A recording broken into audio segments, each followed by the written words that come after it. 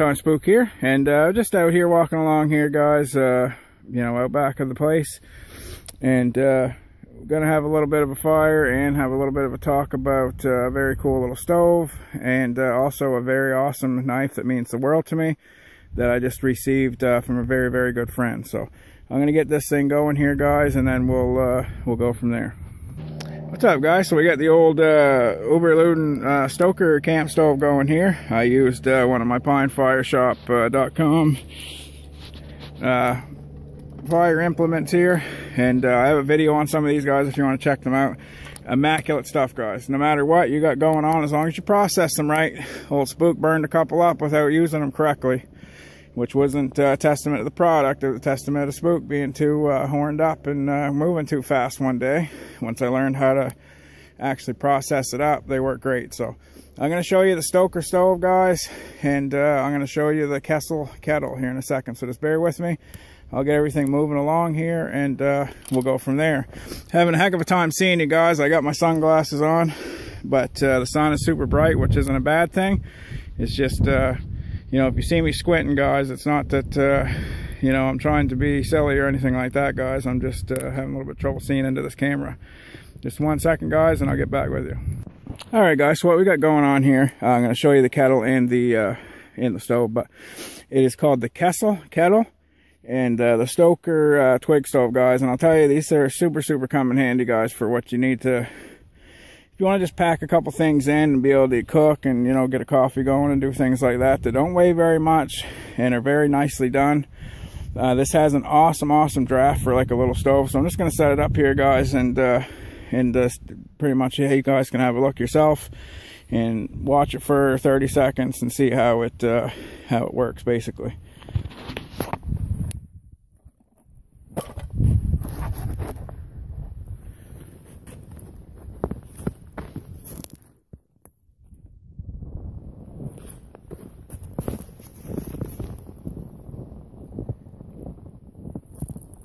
as you can see the draft and stuff guys uh, you know it just works really well. It's, it's basically one of those type of things that sucking air in so I mean you, you keep the as long as you keep the wood to it and this is going to take no time at all to boil this water. And another thing too that's awesome guys is uh, for the most part I mean this handle's collapsible so you can take it and hang it from a tree or do whatever but I'm gonna oh once I'm done uh, doing this we're gonna do another review. I was just out with this guys and before I kind of uh, we'll say do some reviews guys. For the next little bit I'm going to take stuff out and use it a lot more instead of just jumping right into it but uh, this one I've been using quite a bit and I love the setup.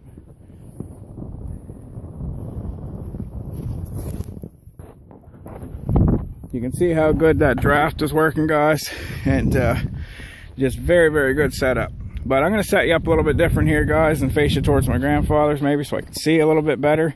And while my uh, water's boiling, I'm going to show you an awesome, awesome knife from a very good friend of mine. There we go, guys. I wanted you to be able to see me because this is really important to me. But uh, And disregard the Triple X knife sheath because this is just an extra sheath I had lying around. And it fits uh, this knife absolutely perfect. So I actually took some uh, beeswax and kind of dipped this and then ran it across quite a few times and and I'm going to do it a couple more times just to kind of you know make it fit the fit the knife very well but this is a knife by my friend Paul from Neanderthal Outdoors uh, over in England. And Paul is just an immaculate guy just a really good buddy of mine. He's always got you know positive stuff to say. And we've been friends for years now on uh, social media. And uh, I hope someday to meet Paul because he's just a good good fella and uh, out of his own out of his own uh, gumption he made me this knife guys. He just knows I love knives and he wanted to make me something you know that I would uh, you know that I would like. And guys do I ever love this. It's 90 degree spine. It's made out of an older Golok and uh, he totally did this without any any electrical tools. So this is all hand done.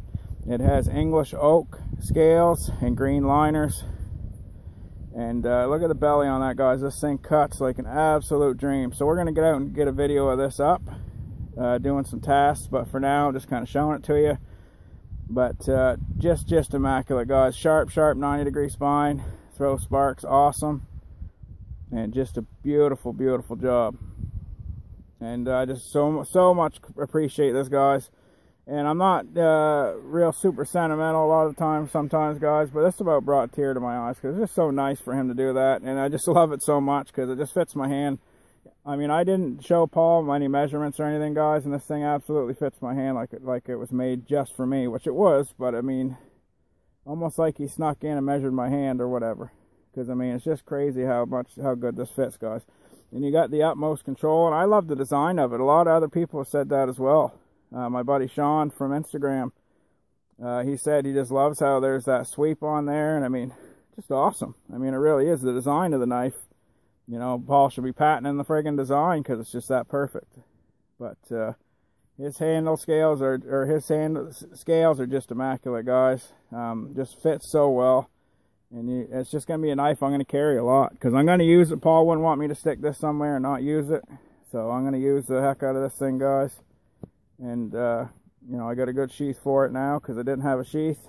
But uh, just immaculate. But I'm going to stoke up the fire here, guys, and then you'll see that more in other videos and get our coffee on the go here and then maybe finish this off. I just want to stop and say hello. And before we get into too big of a rigmarole, guys, I know that YouTube changed a lot of stuff, but guys, I mean, there's nothing you can do. They're a massive corporation. All you can do is support the smaller channels back and forth, and that's what I'm doing. I had some people support me, and I'm going to support them. Well, the water's nice and hot, guys, so I'm going to plop in myself a little three-in-one coffee and enjoy that. So just bear with me, guys. I don't even know what you guys can see, but I'm hoping you can see what I'm doing. That's what the heck of the thing about the sun glare, guys. And I wanted to just come to this spot. It's just right up back of the house. And I'd already gone for a pretty good little walk. So I decided just to come down here in my buddy's uh, snowmobile track out back of the house. And, uh, you know, do it, do it this way. But what I like to do too, guys, is kind of plop it in while it's boiling. And you got a nice wooden, uh, on the, on the Kestrel, Kestrel Kessel. You have a nice wooden top on it right there, easy to grab. And it is boiling, so I'm going to plop that in right like that.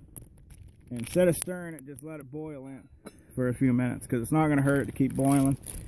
And uh, it's actually like an abnormally, you know, warm warm day right now too, guys, which is kind of crazy. But, uh, you know, the weather's been so weird. We've had these like flash floods, flash freezes, and just all this stuff.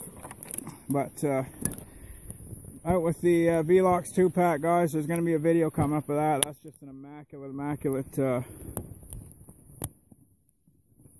backpack. Fits everything I need in it for a good day slash assault pack, I guess you would call it.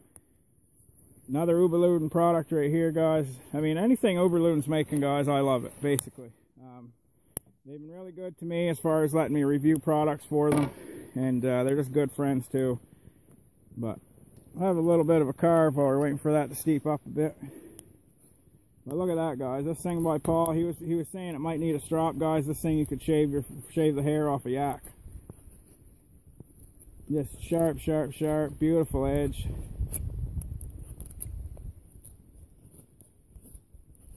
Look at that, guys. It's immaculate. Thank you very much, Paul, but I'm going to get this coffee poured off too, guys. And uh, probably go for another little bit of a walk I would imagine because it's so nice out. This also has like a pour and spout type deal on it. But I want to say cheers to Uberleben cheers to my buddy Paul and uh, everybody stay safe and uh, you know get out and enjoy what you can guys of the wilderness um, right here I got all this land I can explore today I just kind of went for a walk. And sometimes, guys, I mean, you don't got to get out 450. I said this before in videos. You don't got to go 500 kilometers out in the backcountry. Some people think if you're not in a survival situation, then you can't be practicing bushcraft, guys. We have all this land. I'm just right out back of the house right now. I went for a big walk up around. And it was a nice day, and I decided to come kind of closer to the house because now I can sit and have finish my coffee, have a little bit of a whittle, and I don't have a 45 kilometer walk back to the house because I've already did my walk to get exercise. So uh, anyway, guys, I'm going to show you another shot of this and uh, just say thank you to Uberleben and thank you to my buddy Paul. You're going to see that knife all the time, guys. I absolutely love that one. So if you ask, you know, I don't know. That's another thing people are definitely going to ask. I'm not sure. Paul usually makes the knives for friends for like a gift. So I don't know if you could coax him into selling you one if he made one because he makes file knives, guys, that are just bomb proof and awesome. His handles are just as good as any knife maker, you know, on the planet or better than some of them. so I don't know if you could coax him into actually selling a knife or if he just makes them for buddies. So anyway, guys, I'm going to show you a little shot of this. Just a beautiful setup. You got the Kestrel and the uh, Stoker stove. Got my beautiful Kuksa, some pine fire shop stuff, guys. Got it going and you can just stoke it up get the sticks in there